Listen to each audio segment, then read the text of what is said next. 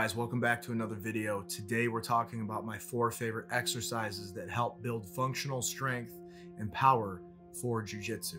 Now, all four of these movements will directly correlate with movements to jujitsu, movements that you will see while you're sparring, movements that will help you while you're sparring. I really like to make direct connections from my weightlifting to my jujitsu because I feel those are the most practical and usable. In a previous video, we've already talked about my opinions on meshing jujitsu with bodybuilding. I'll drop the link up here in case you want to check that out. But the whole idea of this series is to maximize jujitsu performance through weightlifting. Now, obviously, things like actually sparring are probably going to be the most beneficial for you in increasing jujitsu performance. But who doesn't want that strength edge? Jujitsu was designed for the smaller, weaker person to beat the larger, bigger person. But if you can increase your strength through specific exercises that will directly correlate to your performance in jujitsu, now we're talking. So without further ado, let's jump into my four favorite exercises in the gym I use to improve jujitsu strength. Exercise number one, the Zercher squat. If you've never tried this variation of the front squat before, I highly recommend this. Because you're holding the bar in the crook of your arms, the center of gravity is going to sit a little bit lower on your torso, which translates excellent to say starting on your feet in jujitsu. Maybe you've got a body lock and you're working for a takedown. You're going to get a lot of posterior chain development from this. You're going to get a lot of leg development from this. And this is so good, especially when you're starting neutral on your feet, just like you would in any competition, or even when you're in a situation where you may be in a fight on the street. Now, if you're someone who's an avid squatter, be prepared to use a little bit less weight, maybe a lot less weight if you've never done this before, than you do on your normal squats. Remember, the weight isn't sitting on top of your spine now, it's in front of your spine. So you need to engage your back to keep that weight from pulling you forward all the while squatting down into a nice, level, parallel squat position. In fact, I try to get a little bit lower than parallel on this just because I like to get a deep range of motion in my legs. Getting that full range of motion is important to me because I do feel that it improves my performance on the mats drastically. If I'm gonna work out my muscles, I want them to be strong through the entire range of motion. You will see in one of the exercises we talk about today, we are not using full range of motion, but that's on purpose. Here with the Zercher squat, you wanna get full range of motion, and that will help you get the very most out of this exercise. And if you are new to the Zercher squat, I highly recommend starting light and getting the form down. You need to keep your back rigid. You don't wanna round out, you wanna round in as much as possible. And if you need to, use a weight belt. There's nothing wrong with that. You're going to see this is a reoccurring theme for me where I'm recommending exercises to you that you may have never tried before. I want you to start light. Set your pride aside. It doesn't matter how heavy you go. You need to get the form down correctly first so you don't hurt yourself. Because as you build a platform and as you build your foundation and you begin to get stronger, you want to make sure you're utilizing good form throughout this entire experience, this entire journey. Because if you start getting stronger and you're still using bad form, that's where devastating injuries happen. And again, our health is our number one priority. I want you to stay healthy and I want you to stay injury free. All right, the second exercise is going to be barbell hip thrusts. And I think it's pretty easy to see how this correlates to jujitsu performance.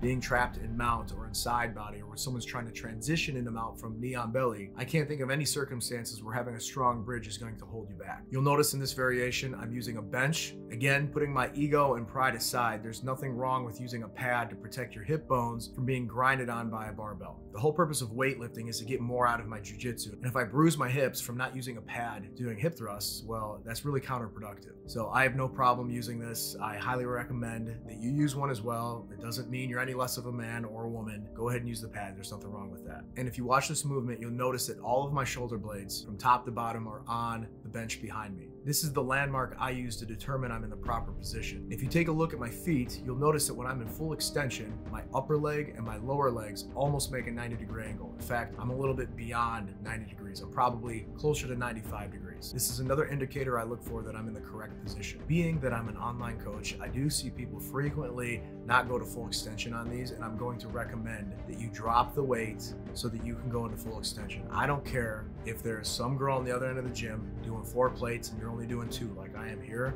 I don't care. You need to do this with correct form. I want you to get the most out of this. If you're doing little four inch thrusts because you've got too much weight on there, you're not really getting anything out of this. I want you to get this full range of motion and specifically in this exercise because that's where a lot of your power is going to come from. If you're practicing good range of motion on this exercise, you will notice an improvement in your bridging, especially at the top or the end of the range of motion. Bridging can be one of your greatest tools when you're stuck in a bottom position. So once again, use the correct amount of weight here. Start off light till you get the form down and then work your way up. Okay, this next exercise is one of my favorites and that's the floor chest press. Again, again, watching this, I think it's pretty easy to see how this correlates to jujitsu. What I'm not saying here is that this is a great exercise to help you bench press people off of you when you're stuck in a bottom position. That's not exactly a technique I aim to use, but there are situations in jujitsu where we're on our backs and we need pressing power to get ourselves to a better position. The main difference between this and a normal bench press, when you're on a normal bench press, your elbows are going to drop below your body line. Whereas when you're on a floor press,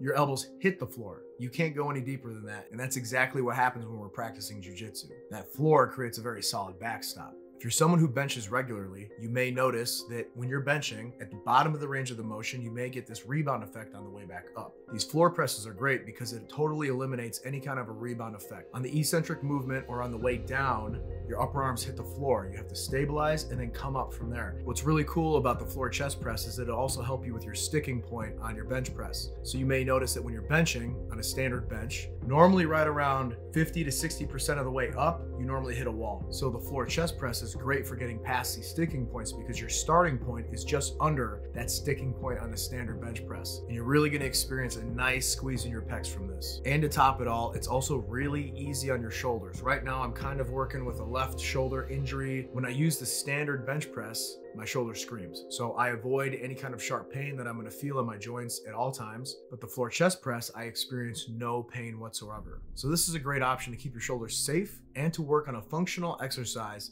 that directly correlates to jujitsu strength. And just like before, start light and practice good form. You'll notice that my legs are laid flat. I'm not pushing off my feet at all, totally relying on my upper body. Give this one a shot. I think you'll like it. Last but certainly not least, gi pull-ups. Now, the pull-up is already a fantastic exercise to build upper body strength, but what's one way we can really up the ante here and get the most out of this for our jiu-jitsu? You use a gi top for your grips. So all you're gonna need is your gi top and a pull-up bar. And if you don't have a gi top, you can use a towel as well. I like to use the gi top because not only do I practice no gi jiu-jitsu, I like to practice in a gi as well. And this is very realistic for the type of grips I'm going to be aiming for on my opponent's lapel. And the configuration of the pull-up bar really doesn't matter. You're always to find a way to be able to get your gi top tied to the bar so that you can do pull-ups on it. So by doing gi pull-ups, not only are you getting that functional pulling power from doing the pull-up itself, you're also significantly increasing your grip strength, which I think we can all agree on is important for jiu-jitsu. If you can't do a pull-up just yet on your own, don't stress, I got you covered. You can get some exercise bands off of Amazon and this will assist you in completing a pull-up. And you can still use the gi grips with the exercise band helping you. And if you've been training jujitsu for a while, you can probably think of that one guy at your gym that has that iron grip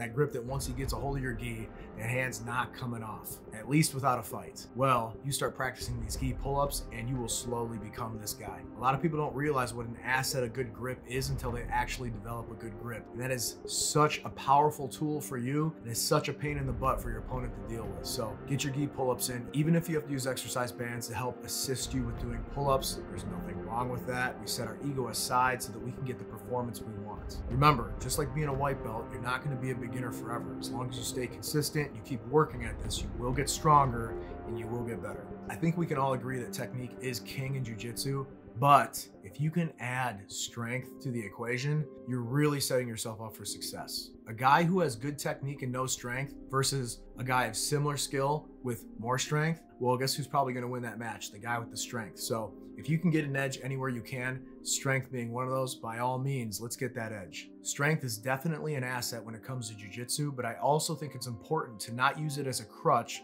to skip over your techniques. You're only going to make it so far relying on just strength. So to become the most well-rounded and developed jiu-jitsu fighter that you can be, I think it's important to focus on technique while using strength as an asset or a tool when it applies. And that's the video, guys. I hope you got something out of it. I do have plenty more of these jujitsu based exercises that I love to use. So expect to see more videos on this in the future. And let me know what you think in the comments. Let me know what you would change. What would you add? What would you take away? We can all learn a little something from each other. So let's have that discussion. Let's grow together. That's what this channel is all about. And in the meantime, eat plants, train hard, and feel good. I'll see you in the next one.